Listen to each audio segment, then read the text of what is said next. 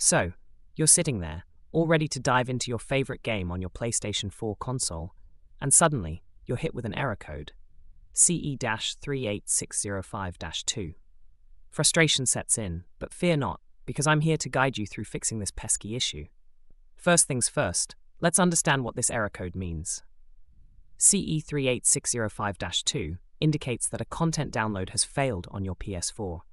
This could be due to various reasons, such as a poor internet connection, server issues, or even a problem with the game itself. Now, let's get down to business and fix this error. The first step is to check your internet connection.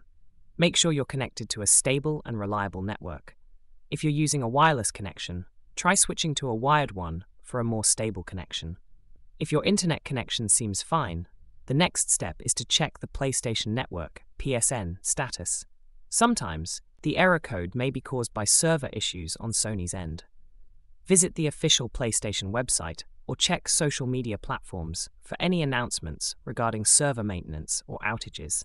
If the PSN is up and running smoothly, it's time to focus on the game itself.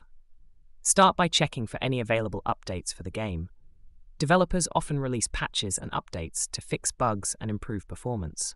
Make sure your game is up to date by navigating to the game's main menu and selecting the Check for Updates option. If there are no updates available, you can try deleting and reinstalling the game.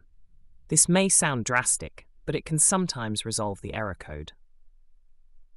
Before deleting the game, make sure to back up any saved data or progress to avoid losing your hard earned achievements.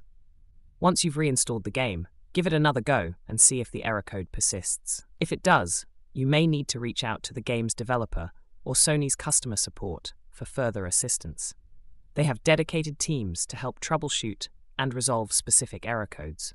Remember, patience is key when dealing with error codes. It can be frustrating, but with a little perseverance and troubleshooting, you'll be back to gaming in no time. Good luck and happy gaming.